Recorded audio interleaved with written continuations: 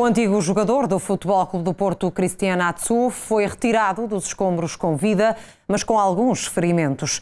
Uma jogadora brasileira de voleibol que reside na Turquia conta os momentos de terror que viveu. Depois de se temer o pior, Cristiano Atsu foi encontrado com vida. O antigo jogador do Futebol Clube do Porto foi retirado dos escombros do prédio onde morava em Hatay, na Turquia. A confirmação foi feita por Mustafa Uzak, vice-presidente do Hatay Aspor, clube do jogador. Atsu foi transportado para o hospital e terá ferimentos num dos pés e ainda dificuldades respiratórias.